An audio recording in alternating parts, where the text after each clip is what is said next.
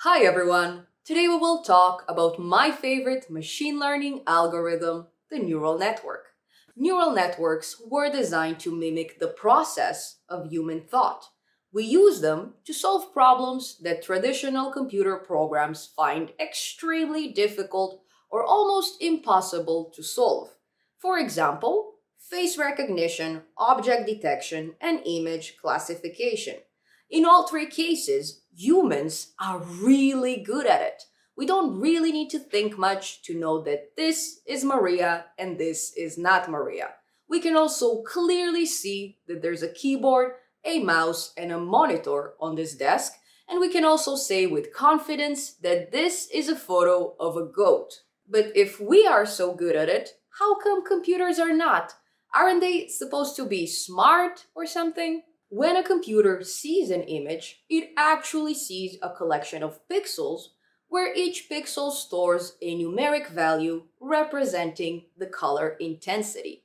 We already talked about it in previous lessons and you guys can definitely check it out if you haven't. So then instead of a goat photo, our computer sees a very long array of numeric values. And then the tricky part is even if we take another photo of the exact same goat on the exact same background, we will most likely get a brand new array of numeric values. And guess what?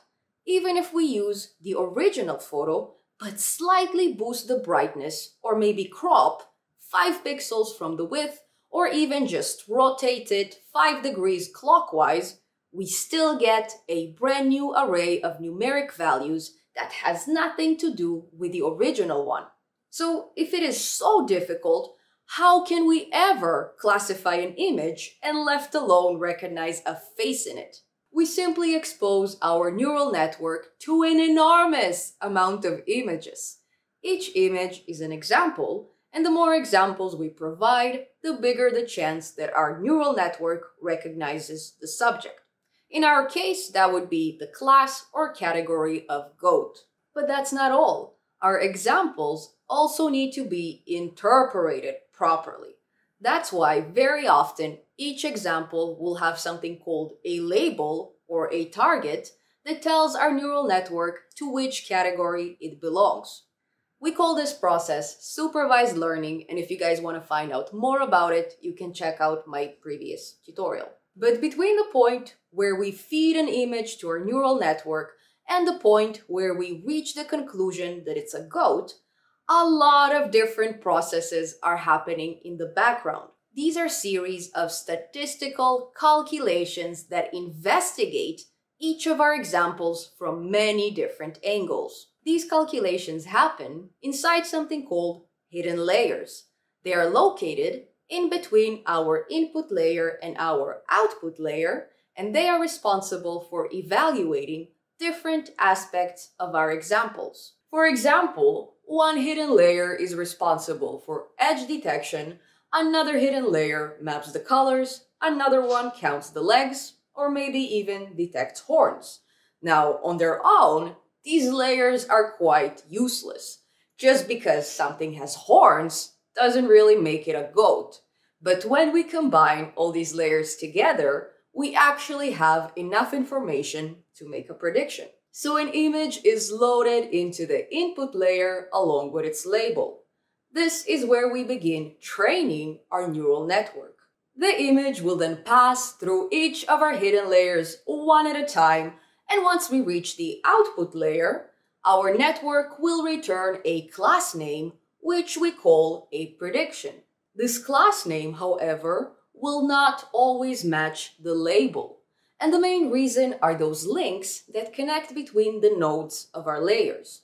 We call these links weights, and they help us determine how much impact each node has on the input. For example, maybe counting legs or detecting horns is much more meaningful than mapping colors.